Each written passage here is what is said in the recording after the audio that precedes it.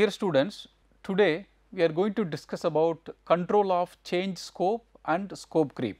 In the previous class, I have discussed about three types of project controlling, but in this lecture, I am going to discuss about control of change scope and scope creep.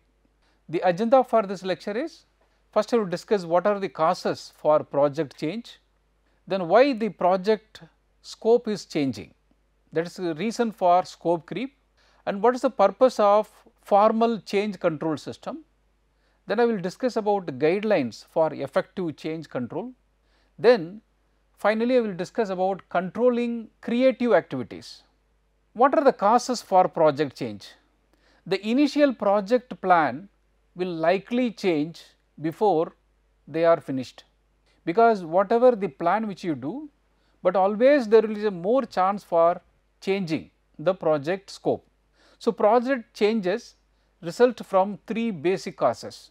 The first cause is uncertainty about the technology on which the work of the project or its output is based. Because when there is uncertainty about the technology, once you started to implement the project, the technology may change, then the scope of the project also will change. That is the one reason. Second reason is an increase in the knowledge base or sophistication of the client or user leading to the scope creep.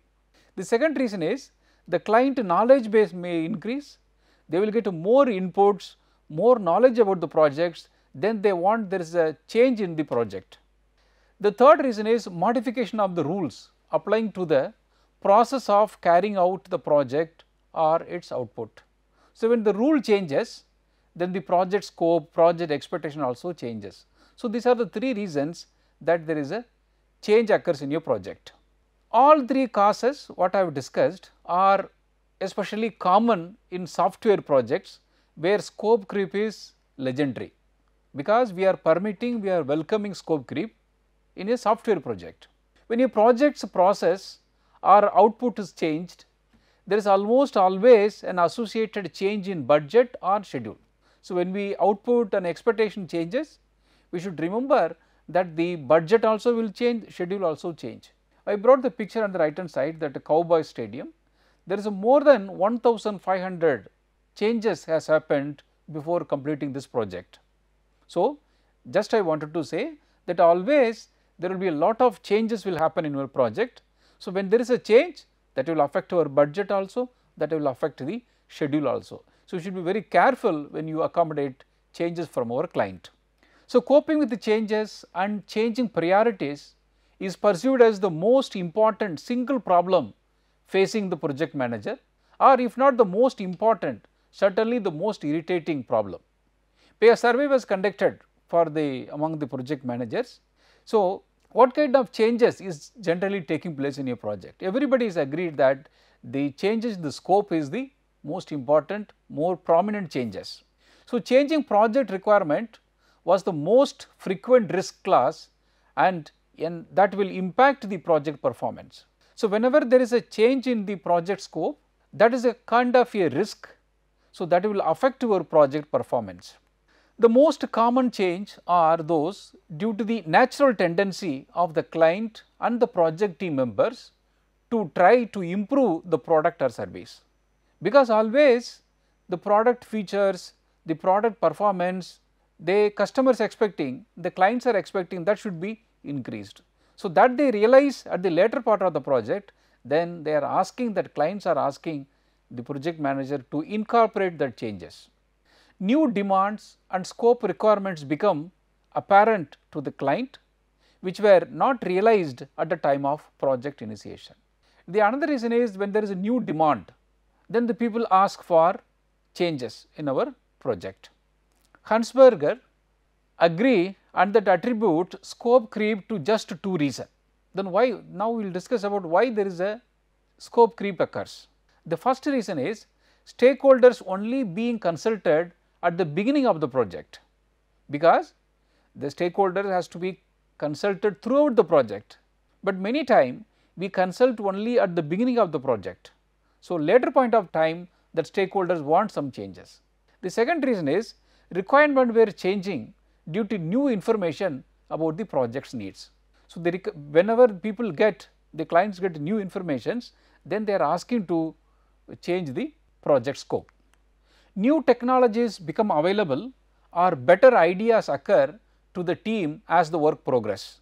As noted earlier, the later these changes are made in the project, the more difficult and costly they are to complete. So, when somebody says that changes in the project once the project is progress, if it is late for giving the changes into the project, so that is very costly.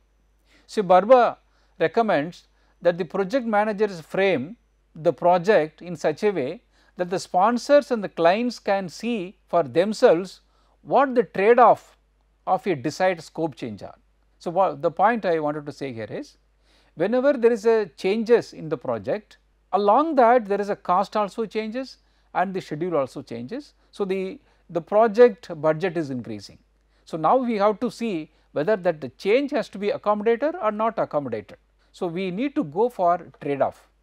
Instead of telling the client no, simply say sure we can change the design, I will reply with the change schedule and the budget impact. So, instead of saying directly no to the changes, what we can say yes I can accommodate the changes, but along with the change there will be a new budget will be there, there will be a new schedule that I will come with after some time. This way you can answer. So, without control a continuing accumulation of little changes can significantly impact the project's schedule and cost. So, if there are so many changes are occurring directly will affect the project schedule and the project cost. So, control of scope creep is accomplished with a formal change control system which in some industries is a part of their configuration management system responsible for integrating and coordinating changes throughout the system development cycle. The purpose of the formal change control system is to review all requested changes to the project and identify all task impact. If there is a new task is coming, how that will impact the project performance. Now, we will see the purpose of formal change control system. So, we need to have a proper change control system. What is the purpose of that? Review all requested changes to the project both content and procedures that is the first purpose. Second identify all task impact then translate these impact into the project scope, cost and schedule. Evaluate the benefits and cost of the requested changes. These are the purpose of a formal change control system.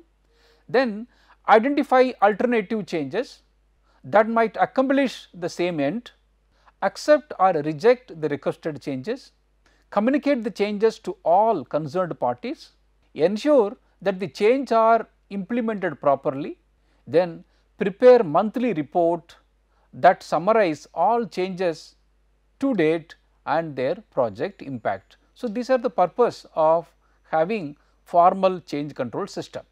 Now, we will see certain guidelines for effective change control.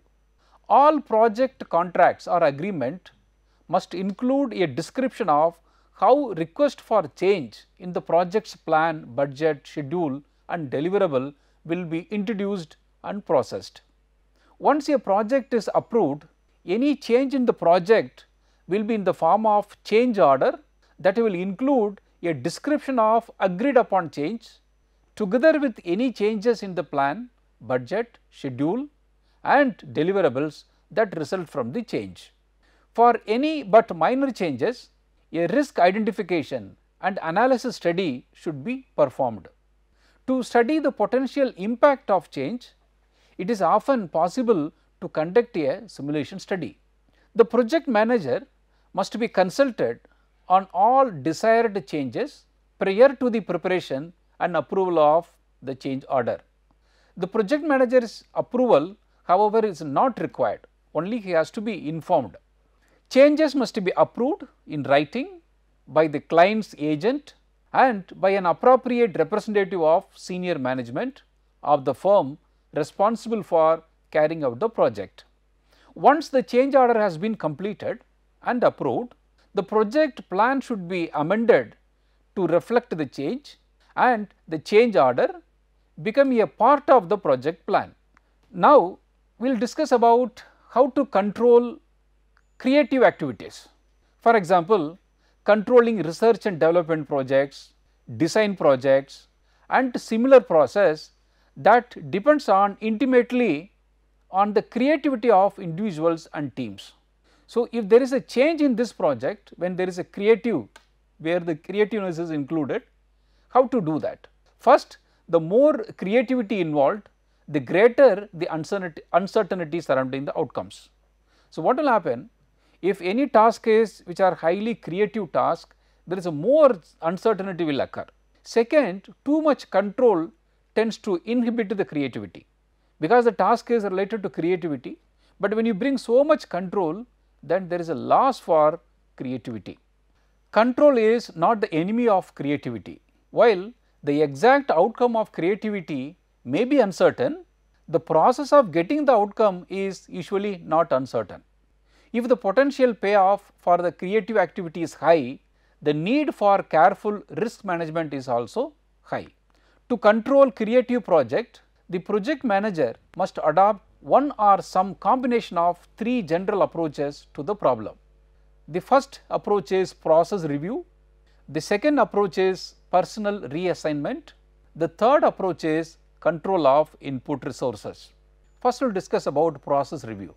The process review focuses on the process of reaching outcome rather than the outcome itself, because the outcomes are partially dependent on the process used to achieve them uncertain though they may be the process is subjected to control. For example, in research projects the researcher cannot be held responsible for the outcome of the research, but can most certainly be held responsible for adherence to the research proposal, budget and the schedule. So, the process is controllable even if the precise result or not. So, what should be the output, but we can control the process of getting that output. Control should be instituted at each project's milestone and obvious opportunity for phase gate controls. If research result are not as expected or desired, milestone provide a convenient opportunity to assess the state of progress, the value of accomplishment to date, the probability of valuable result in the future and the desirability of changes in the research design. Again the object of control is ensuring that the research design is sound and carried out as planned or amended. The review process should be participative, unilateral judgment from the superior are not apt to be acceptable or effective. Care must be taken to oversee the method as opposed to the result. Here because it is the creative activity, so we should not bother about the result, but we should bother about the method of achieving that result. We should control about only the method of achieving the result. So, method is controlled and should be controlled, but the result are still what counts. The next process is personnel reassignment. This type of control is straightforward. Individuals who are productive are kept, those who are not are moved to other jobs or other organizations. Problem with this technique can arise because it is easy to create an elite group, while the forward few are highly motivated to further achievement, everyone else tend to be the demotivated. It is also important not to apply control with too fine an edge.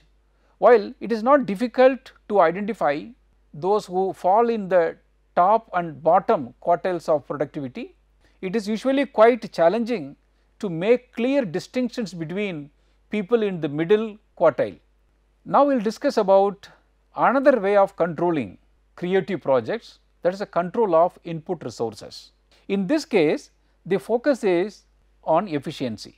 The ability to manipulate input resources carries with it a considerable control over output. Obviously, efficiency is not synonymous with creativity, but the converse is equally untrue.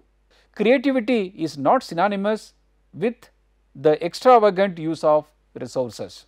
The result of flowing from creative activity tend to arrive in batches. Considerable resource expenditure may occur with no visible result, but then seemingly all of a sudden many outcomes may be delivered. The milestone for application of resource control must therefore be chosen with great care. The controller who decides to withhold resources just before the completion of a research project is apt to become an ex controller. Sound judgment argues for some blend of these three approaches when controlling creating projects. The first and third approaches concentrate on the process because the process is observable and can be affected, but the process is not a matter of moment results are. So, the second approach requires us to measure output when it occurs. This is often quite difficult thus the wise project manager will use all three approaches that is checking processes and methods, manipulating resources, culling those who cannot produce. Dear students, in this lecture I have discussed about causes for project change, then what are the reasons for scope creep, then I have discussed about purpose of formal change control system, then I have explained about guidelines for effective change control system. Finally, I have discussed about how to control creative activities. In that I have explained three approaches, one is process review, personnel reassignment, control of input resources. Thank you.